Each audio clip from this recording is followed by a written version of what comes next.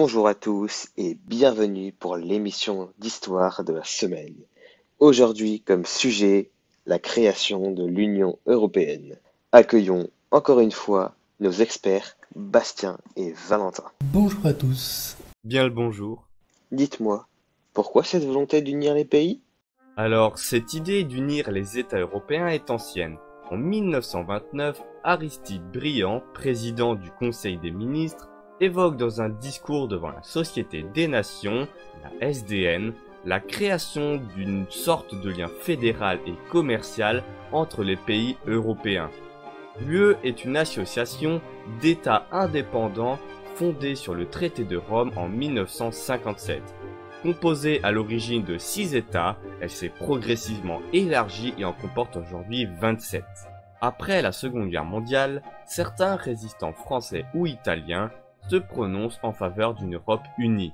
Finalement, c'est en 1992 à Maastricht, aux Pays-Bas, qu'est signé le traité sur l'Union européenne.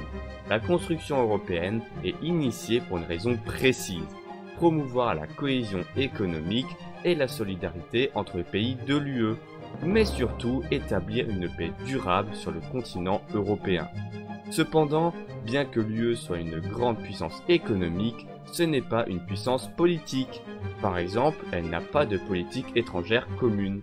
Cette construction européenne ne devait être ni simple ni rapide à mettre en œuvre.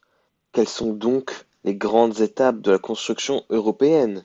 Le 18 avril 1951, les six pays de l'Union européenne RFA, Belgique, France, Italie, Luxembourg et Pays-Bas, signent à Paris le traité de la CECA, la Communauté européenne du charbon et de l'acier.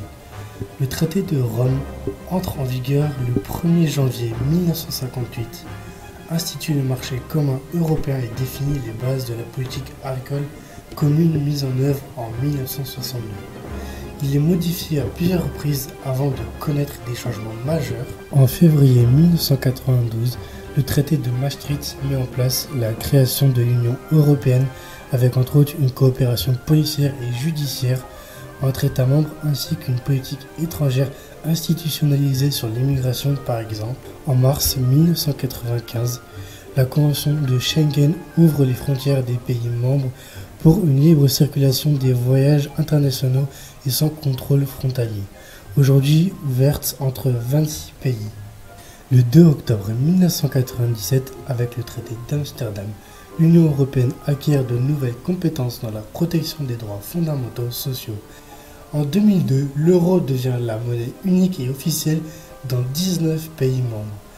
1er janvier 2007, l'Europe passe à 27 membres qui adhèrent automatiquement aux traités et chartes de l'Union européenne. Le 23 juin 2016, suite à un référendum, le Royaume-Uni quitte l'Union européenne. Toute cette puissance avec des pays si différents, n'y a-t-il pas de limite dans cette constitution européenne? L'Union européenne est avant tout une puissance économique et commerciale, mais elle est limitée. D'abord, ce n'est pas une puissance politique puisqu'elle n'a pas de pouvoir exclusif unique. Le nombre d'États, 27 aujourd'hui, et leur diversité font que l'UE ne part jamais d'une seule voix. Lors d'une crise internationale, l'UE est le plus souvent divisée. Ensuite, elle ne possède pas d'armée commune. Le contexte budgétaire difficile pèse sur le budget des dépenses militaires, ce qui explique que la plupart des armées des États de l'UE sont encore intégrées dans l'OTAN.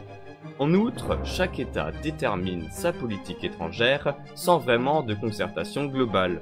Ces divisions et l'absence d'une véritable armée européenne font que le rayonnement politique de l'UE reste limité. Très bien, c'était vraiment intéressant. Je remercie les deux intervenants pour leur éclairage sur la construction européenne. Merci à vous, chers auditeurs, je vous retrouve la semaine prochaine pour une nouvelle émission sur un thème très brûlant également.